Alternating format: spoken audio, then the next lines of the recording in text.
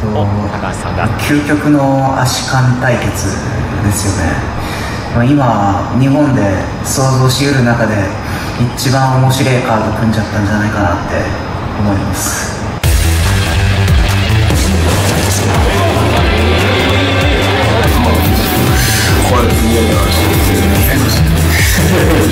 でも須藤選手展開としてはちょっと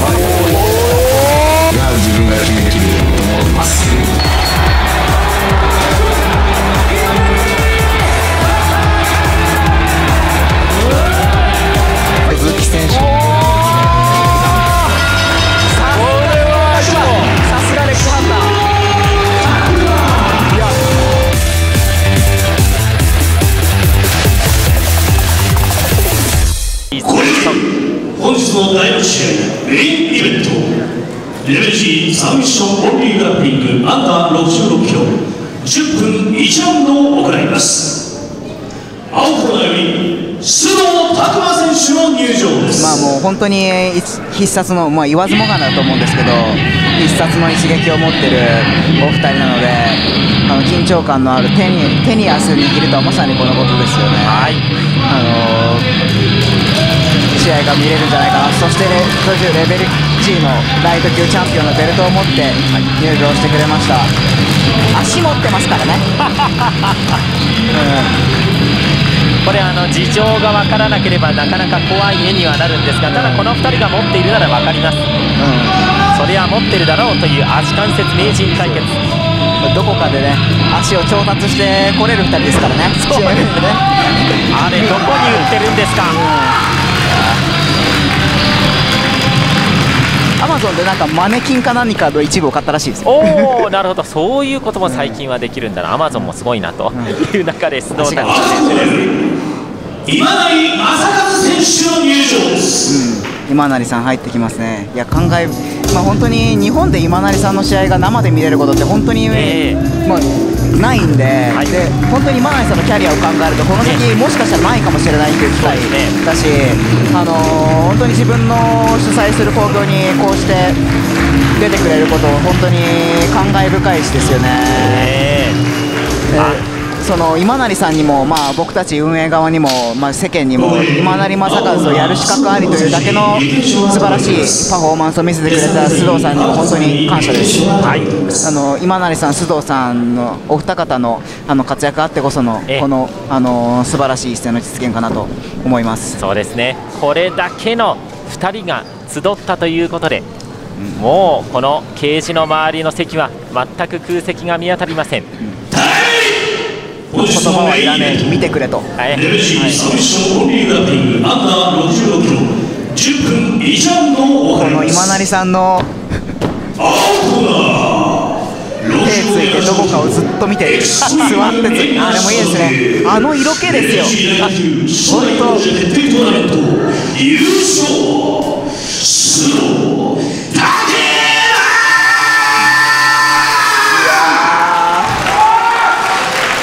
ワクワクしてきた。65.85キロ今成柔術佐竹初代および第6代リップフェザー級王者師匠の今成師匠の試合生で見るの初めてかもしれないですそうですか。いやマジで色気ありますね。かっこいいな。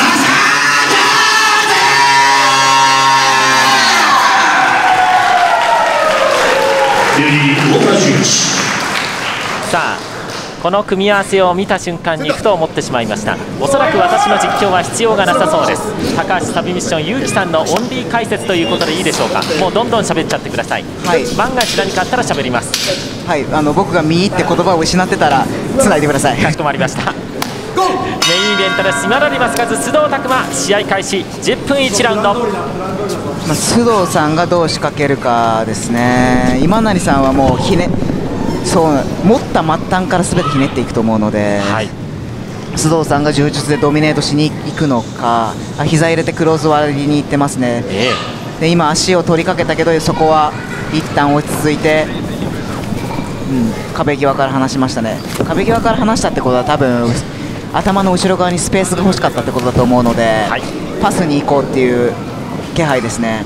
でパスを仕掛ける須藤さん足レッグゲームを仕掛ける今成さんで今ひあもうでもダブルガードでいきなりひねり合いの展開になりました。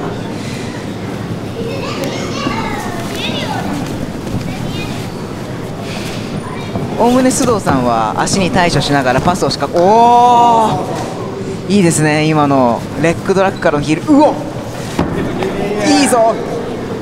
あーでも膝がちょっと抜けてますね。すごい危ない形なんですけど波の選手だったら、あのー今ので捕まってたと思うんですけどはい。さすが今成さん膝ぬ逃がしましたね。ただかなりいい形ではありました。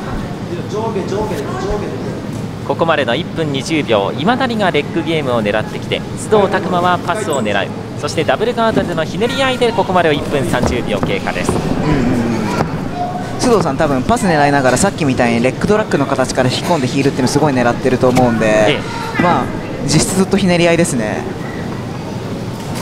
うん。今成さんが強い力で引き込んでるけどこの須藤さんのあその今成さんの鼠径部にかかってるこの足がくせ者で、はい。これがあるとなかなか行ききれないんですよね。なるほど。おおマジで？何それ？す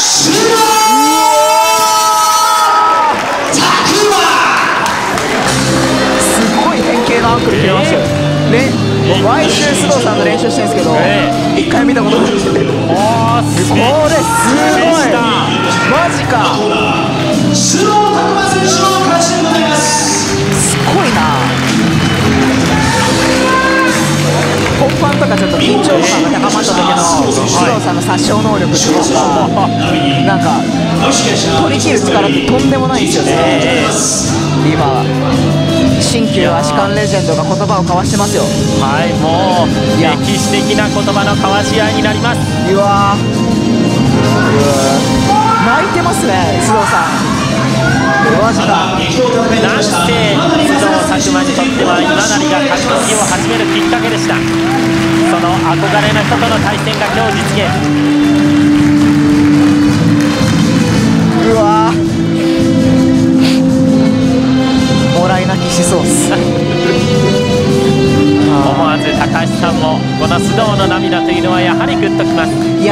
れというか本当に人間関係的にも近い2人なんで。です。まあ須藤さんと俺ずっと一緒に練習してきてるから、はい。まあ俺たちがやってきた時間で絶対間違ってなかったっていう、あのー証明をしてくれたのも嬉しいし、はい。まあ対して今成さんに対関してはもうずっとお世話になってて、えあのーもう自分も憧れてた師匠なんで、ん。まあ、お互いのかっこいいところを見たかったんですけど、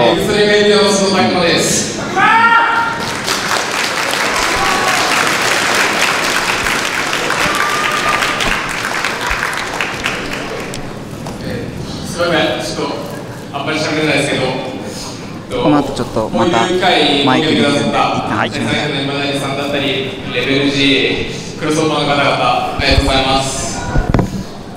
とこうやっと画面で見ててすごい憧れで今成さんを見て呪術始めたぐらいだったのでそんな方と試合してこうやって勝てることができたのでしかも一番お互いの得意なところで勝つことができてすごく嬉しく思います。ちょっとこれからも足感を磨いて銃弾を倒したいう名に恥じないように頑張っていきたいと思いますので応援よろしくお願いします。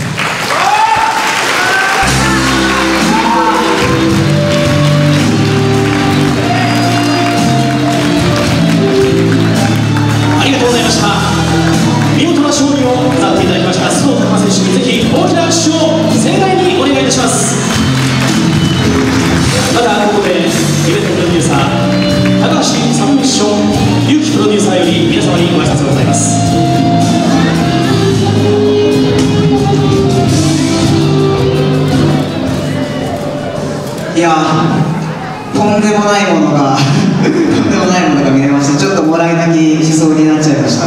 まあ本当にあのーこうして試合組ませていただいたんですけど僕からしても思い入れの強い2人で今成さんは僕の師匠だし須藤さん今一番お世話になってる練習仲間なんでであのーあんまりそんなプライベートで遊びに行ったりとかいう関係ではないんですけど2人のことすごい大好きであのーなんでかっていうと強いから好きなんですやっぱ僕もずっとちっちゃい頃から強いか弱いかだけやってきてる人間なんでやっぱ強い人すごく好きで2人に対して本当に最大限のリスペクトがあった中であのーまあ今回は須藤さんがなんだろうな。まあまあ今成さんが自分の師匠で憧れでもあったので負けてしまったっていうところにあの何も思うところがないわけではないですけど今回はまあ俺と須藤さんとあの一緒に練習してきて俺たちがやっていたことって間違ってなかったんだなっていうのをあの見せてくれたなと思って勇気もらいましたすごい選手としてのコメントになっちゃったんですけどまああの日本で今成さんの試合こうして見れることってもしかしたらこの先にもないかもしれないし今この場であの試合見れたってことを本当になんかあの僕も皆さんもなんかなんだろうな本当に幸運に思っていいことかなと思います。あのーご来場の皆様ありがとうございました。ここであのレベル G6 月16日大会一旦締めさせていただきたいと思います。ありがとうございました。